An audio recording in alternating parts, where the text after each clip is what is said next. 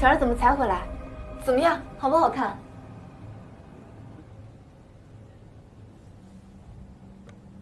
丽丽给咱们家宝宝买了套玩具，费心了。你们两个人一天天只知道忙工作，这孩子用的东西不提前准备好，等到时候宝宝出来了，我看你们两个忙成什么样的。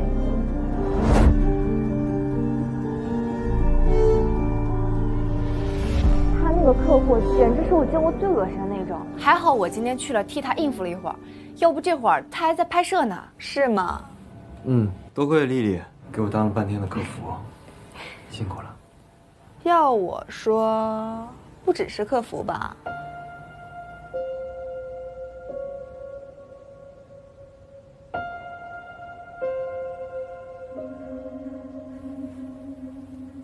怎么说也得是个客户总监啊，真不会说话。总监，行了，真正的客户总监在这儿呢，我就是郑总的一个小助理而已。行了，我公司还有事，我就先走了哈。我送你下去。那明天公司见吧。嗯，好的。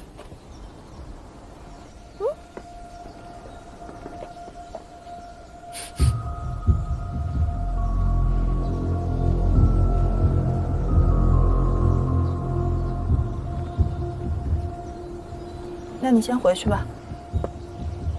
那我就先走了。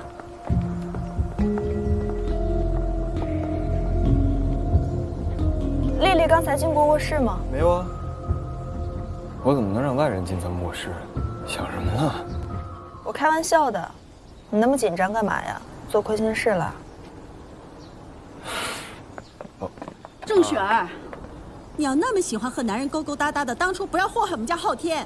自从你进了我们家门，我祖宗三代的脸都让你一个人给丢尽了。妈，你又怎么了？你问他又干了什么见不得人的事儿？今天在医院陪你一块产检那男的是谁？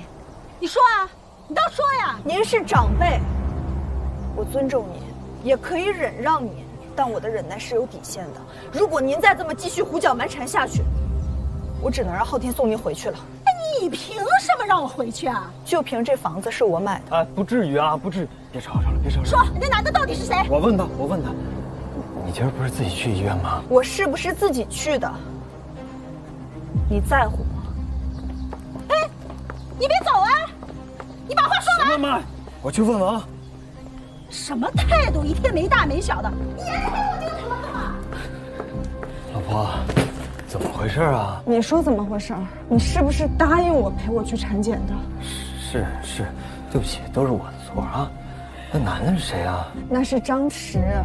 张弛去给他爸拿药，我们两个碰上了，就聊了两句，不知道怎么就被你妈看见了。你妈说的是什么话？有那么说自己家人的吗？